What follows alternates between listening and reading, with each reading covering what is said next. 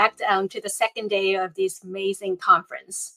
Today, uh, I'm going to talk about how can we leverage AI for rapid innovation and growth.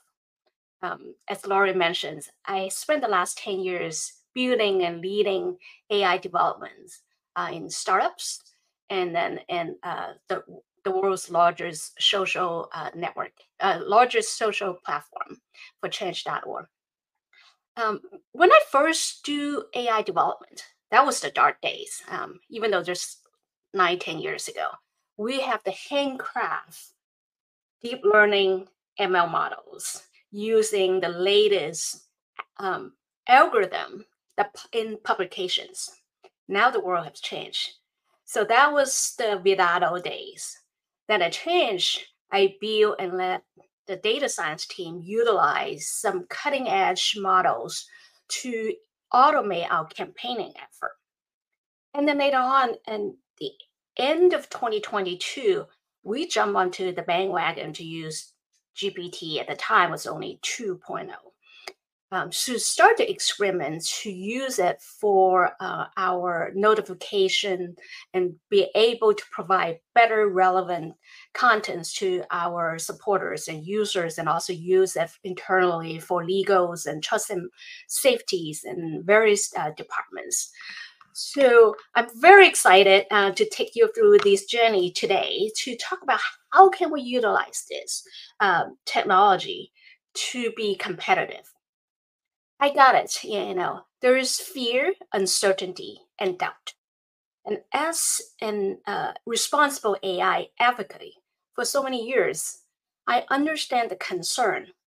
But today, I want to really encourage you embrace the potential of AI for better good. And I want you to see beyond the fear, beyond um, the challenges and potential job displacements. To embrace this journey, we will first look into some case studies, see how other leading companies utilize AI, different forms, whether or not it is classic traditional data science, deep learning, machine learning, or the latest Gen AI, you name it. Utilize how do they utilize it to improve productivity, efficiency, to bring in more value to the customers and eventually bring in better increase revenue for the company. And we will talk about how, as leaders, you can foster an environment that's encourage the curiosity, experiment, and innovation and then last but not least, we will explore some ideas, what you can do, regardless what area, what industry you're in, to utilize the latest LLMs and various uh, existing ML techniques, data science techniques, to bring in the advantage, business advantage for your team, for your organization. So I think let's get started this. Um, some of the latest study, I, I believe a McKinsey study shows that AI adoption in 2024 has reached 23%. Now, I want to be pointed out 23% is a large number across all company, all sectors.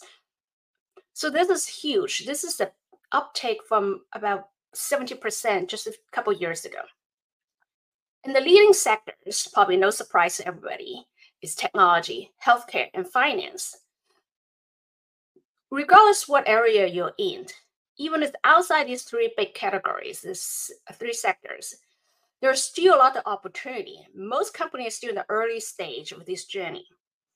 Some of the key benefits, and probably no surprise to many of you, is productivity, innovation, and customer engagement.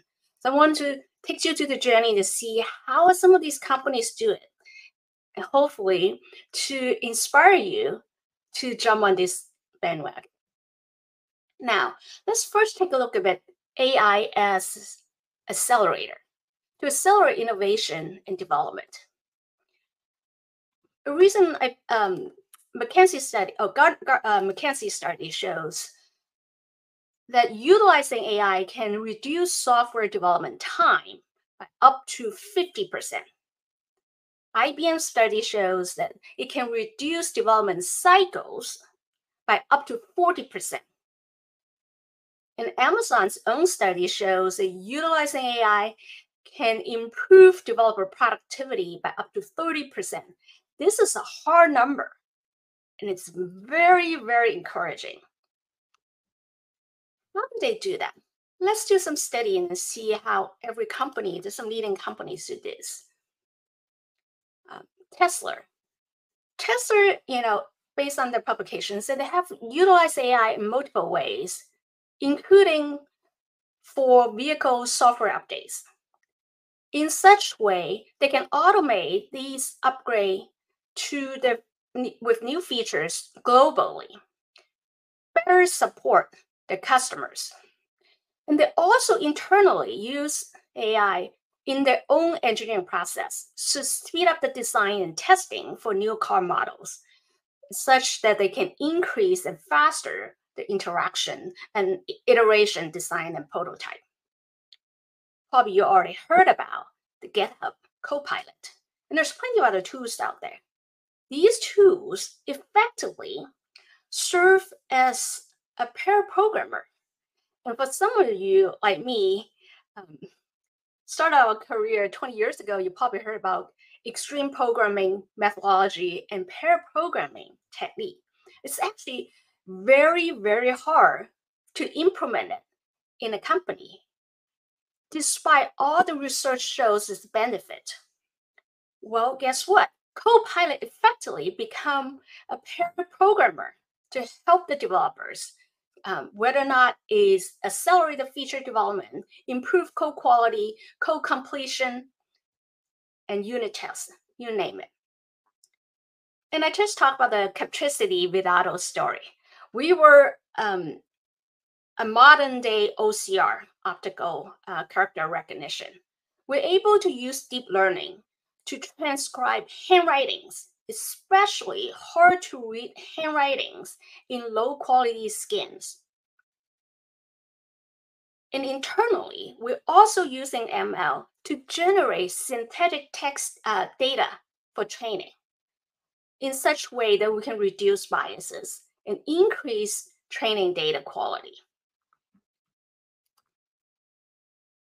AI can also enhance human creativity you think about the entire creation process, creativity process, AI become a supporter, collaborator for humans, supports these complex decision-making process, whether or not is complement human architects, for example, designers, US designers, um, on strategic thinkings, and also assists generate alternative designs and enhance rather than replace human expertise.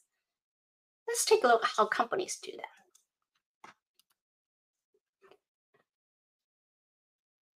Anthropic, yet another tool to help developers and designers, product managers to assist ideation, writing, and coding. In this case, AI acts as a collaborator, provides suggestions, feedbacks to the human design. Autodesk they use AI driven tools to explore multiple design scenarios quickly, helped architects to fasten their design process. The data shows that they can reduce project timeline by up to 50%.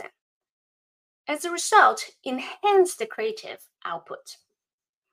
Hugging Face, yet another amazing company that I'm, uh, you know, pay a close attention its collaborative platform develops help developers, especially machine learning and AI researchers and developers, to develop and share machine learning models, including LLMs. This enable collaborations across developers within the team and outside the team in the bigger community, accelerate innovation, especially in ML and uh, NLP research. You probably hear this, uh, me talking about this multiple times. AI is truly a key to competitive advantage.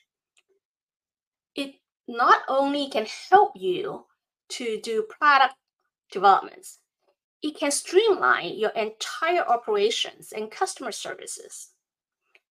Many research shows using AI can reduce costs in productions. For example, there's this predictive maintenance to help reduce costs and maintenance costs in manufacturing. It improves reliability in the operations and increase customer engagements. Many of us be using any online um, retails or any services, you probably have experienced and be benefit, see the benefits of these chatbots, right? So let's look into a little bit more details. John Deere is a company in agriculture machinery. They have been using AI and machine learning for precision agriculture. So they will analyze a large amount of data, including soil conditions, weather patterns, uh, crop health, to provide some actionable insights for farmers so they can, can improve the yields, reduce waste, and effectively increase efficiency. Sephora. Oh, let's go back. Um, so augmented reality has been a big game changer for online retails. In Sephora's case, they use AI to create a virtual artist, provides personalized makeup recommendations and virtual try-ons. This dramatically increased customer engagement, and probably no surprise you would see that they have 200% increase in conversion rate. Almost every payment processors, payment cards utilize AI to uh, detect fraud processes. In MasterCard's case, they utilize up to 13 different types of ML models combined with the classic rule-based tools to detect and prevent fraud process uh, fraud in real time. According to some studies, they were able to reduce fraud by 3%, uh, three times, and also reduce false positive by 6%, dramatically reduce customer service need, and increase customer trust and safety uh, uh, security. So now you can see you see all these examples. So how do we do that? How can you do that? As leaders, probably nothing bigger than really invest in an innovation culture. Foster an AI-driven culture for innovation. We can spark the curiosity that's the beginning of any kind of innovation and creativity process and develop a, a continue learning growth mindset. At the company level, as leaders, we need to encourage AI literacies at all levels, not just your development team, not just your IT team. This is for everybody. This have to come from the top. Create an environment that encourage AI experiments, whether it's hackathon, trainings, you name it, and create a fail-safe environment. And don't forget, it's always better to start with AI-driven internal tools and services to get everybody on board, especially get your skeptics on board. Who are your most likely skeptics? Legal teams, trust and safety teams, your cyber uh, security infosec teams. They all have good reasons, have concerns get them to on board. So get that started. Start with the little small wins. If you're already in this journey, I want you to double down in this investment. Invest in the technology and talent development. Lead with charge by integrating AI into your strategic initiative. It's no longer just experiments. They need to be front and center in your investment. How do you do that? let's explore some ideas. Where can you, what projects, what area you can do? There's plentiful. This is just some examples. If you're in the development, software development area, or you have internal IT teams to produce tools to support the internal processes, well, these are some of the areas you can do. You can use different tools for code generation, completion, refactoring, pay off the tech debts in coding. To improve quality, unit tests is given now with Copilot. Right? We can use tools to do test automation and code reviews. Use AI to help your vulnerability detection and inside out uh, sc screening to scan your system, monitor your compliance. You can use it for system performance optimization, load testing, root cause analysis, and of course, we talk about developer experience. You can use the tools to assign tasks, part, do prioritization process, transcribe meetings and summaries, and create a knowledge base, and even generate FAQs. Fundamentally, increase your customer, uh, your developer experience. You can use it for business operations. I'm going to through many of these in HR, finance, legal, marketing, sales, and logistics, you name it. Industry wise, regardless what industry you're in, healthcare, fintech, aerospace, energy, climate, agriculture, manufacturing, everywhere we can use LLM model, computer vision model, ML model everywhere to create the growth, to put you and keep you in the advanced position. So let's close on this. AI really is a catalyst for rapid development. It's a collaborator, not a competitor. And you need AI to remain competitive. So I hope I will inspire you to, to get started in this journey and keep you to double down on this investment, getting even more excited for this journey. And again, my name is Elaine Zhou. You can reach me in LinkedIn, my email, or on X, um, formerly Twitter. Thank you so much and enjoy the rest of the conference.